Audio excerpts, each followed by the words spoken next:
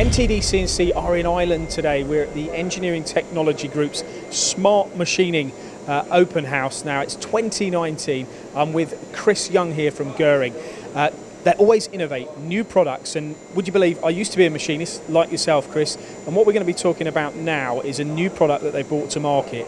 Now this is a this is a drill, and if you uh, drill aluminium, you probably know that whether you're uh, drilling aluminium from a car or a cast aluminium or wrought aluminium, you used to need two different tools.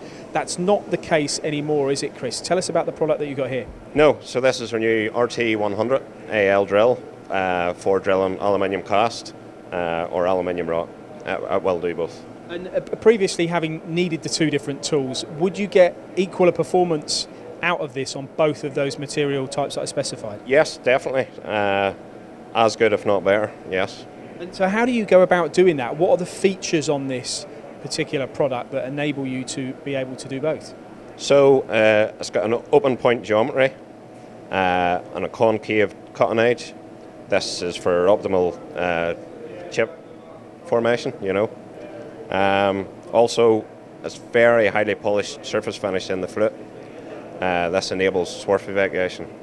And with this then, it, obviously now you wouldn't have to change the tool. But that means you only have to purchase one particular uh, drill as well, don't you? Yeah, yeah, definitely. Uh, one, one, one drill will do both, both materials. One solution. Now, is there any, uh, any further wear on this? Is there any impact on the wear of the product or what you can achieve in terms of, I know we're only drilling here, but what you can achieve in tolerance? No, uh, tool life, this is something they looked at very closely, especially on cast. Uh, so, fantastic for tool life on it. The, apparently they did go into a lot of a lot of research and development onto this. So, so this is a one solution for all now, then, regardless of the the material type that you're machining, isn't it? Yeah, yeah, as indeed. Uh, but not only aluminium, it does plastics, uh, bronze, brass, any non non ferrous uh, materials.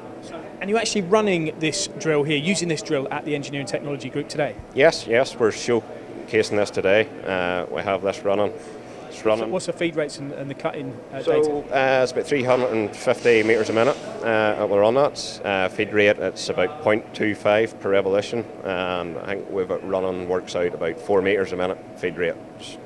Straight in, no pegging. Pretty good demo. Lots of interest here today? Yeah, yeah, yeah, it's good. It's been busy, yeah.